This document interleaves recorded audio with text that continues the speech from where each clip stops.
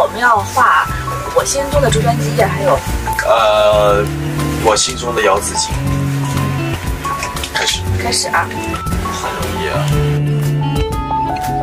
我在画什么？这是什么啊？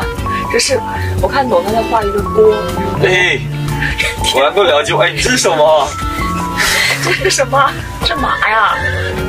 好家伙，你给我画个马，那我得改一下思路。没有没有，你还没画呢。你竟然给我放马，我就要从锅变成人了。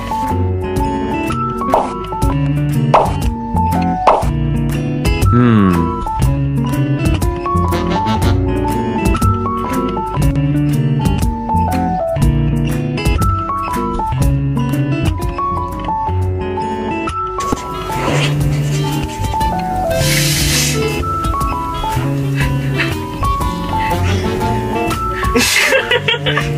我不我在画什么。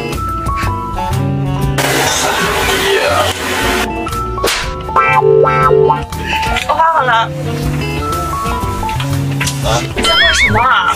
哎，你不是画我是马哦？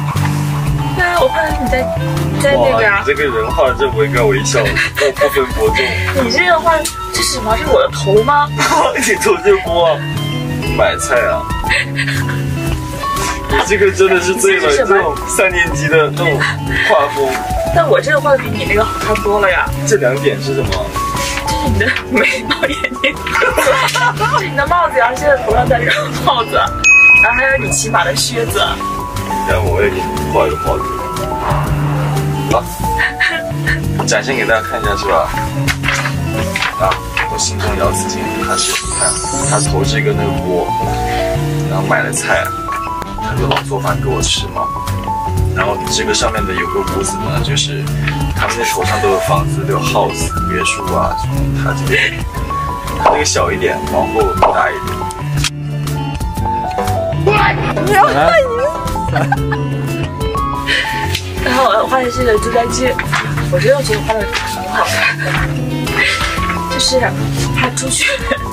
那个出宫打仗的时候就是这样的，然后骑了一个巨大的匹马，然后穿着靴子，戴的还是他的这个这个头上这个纱帽啊，征战的样子 就很潇洒。大家给我们打个分，看你们更喜欢哪一个？